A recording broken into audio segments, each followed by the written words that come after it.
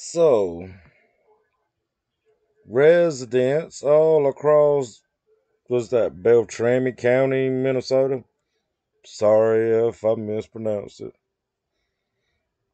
Saw a bright light followed by a loud boom in the sky on Monday evening around 6:40 p.m. County officials initially said it was a meteor, but now those same officials are taking it back are taking back their comments.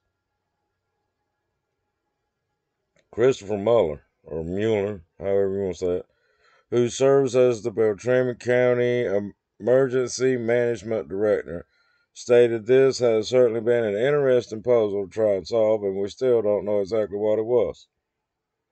Mueller continued, We appreciate this assistance we've received from federal agencies, science community, in ruling out what it wasn't, and will continue to provide any subsequent information that is learned. Let's authorities later provided video to NASA for further investigation. Yeah, they got a video of it.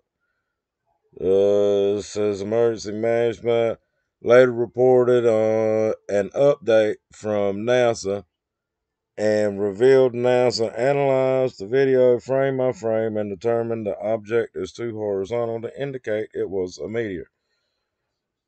Well, from the sounds of it, as far as the article, I ain't seen the video. But, um, sound like it might be a damn jet. I don't know. Who knows? Who knows what it could be?